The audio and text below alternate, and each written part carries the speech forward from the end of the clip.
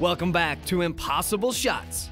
Today, Cisko is fanning down steel plates. Well, the initial shot was shoot at a 10 inch plate just for a warm up. And it took me more shots to get that thing down. I think I run three shots at it finally. Then we went to an eight inch plate to tighten things up a little bit.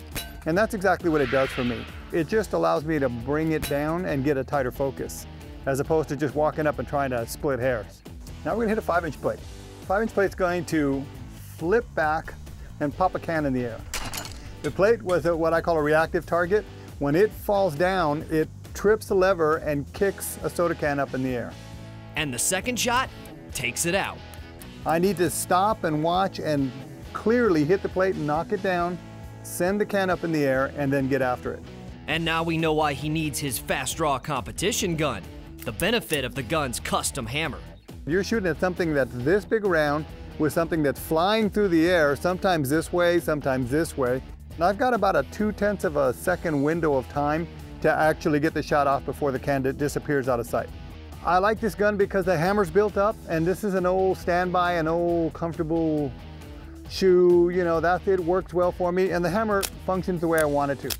This gun has to be able to go two shots pretty quickly because once the can started flying, I've got to be ready to go. He is, and so are we. Let's go.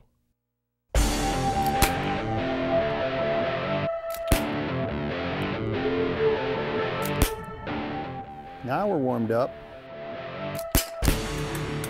Missed it. Reload. All right, so we hit our plate. What happened? Couldn't find it.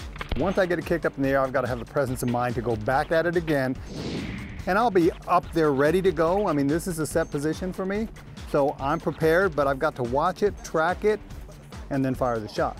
And as you said earlier, sometimes when you hit that frame with this hand, it does knock things off. Right. Primary draw has no effect, but the recovery shot, lots of yeah. effect. Say when. See, that one didn't flip up fast enough.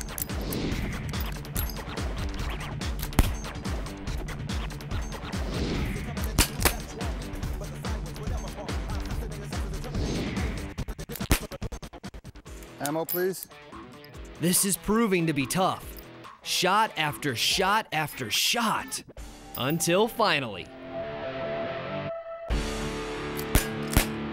There we go. That was good stuff. That's a wrap. But hold on.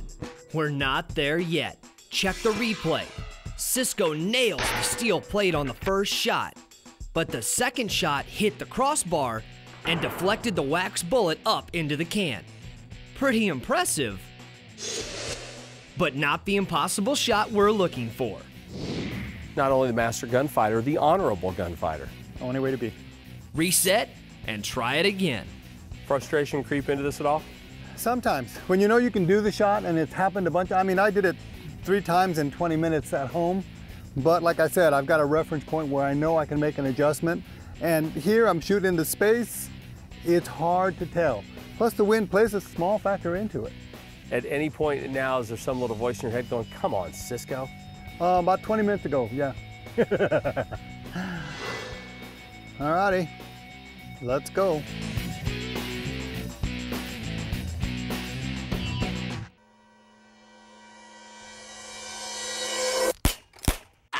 There we go. Thank you, God, Buddha, Allah, Jesus, everybody. My chi was all lined up, everything was focused. I think those uh, Mexican food I had last night finally settled in and allowed me to accomplish the shot. Clean through. We'll take this one home.